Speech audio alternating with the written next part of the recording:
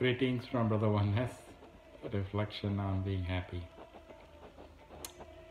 It's lack of feeling of lack of something causes the desire to seek happiness outside. Once we start feeling the wholeness,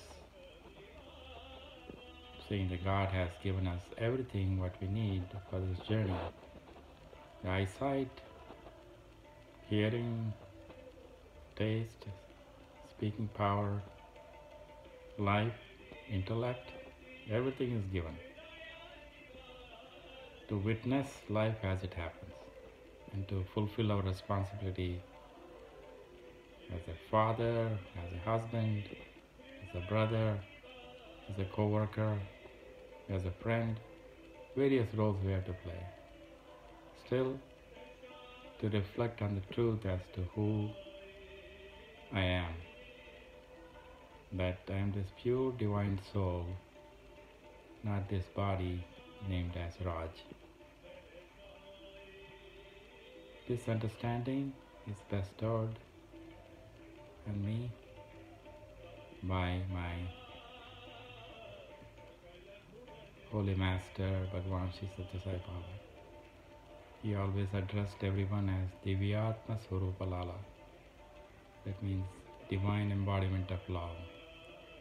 He never called Mr. Speaker, Madam, so and so, not by the position held by the individual in front of Baba. All the Vedanta talks about the same end of knowledge is love, God's love for us, and feeling that love and sharing with one another. Our true nature is always to be happy. We don't seek happiness by acquiring something or discarding something. It's that inadequacy feeling causes unhappiness.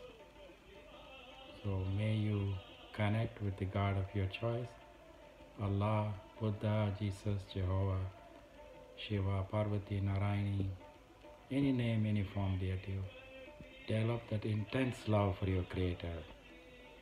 Feel that love, share with all the people in your life. May you abundantly blessed. God loves you, so do I. Om Shanti.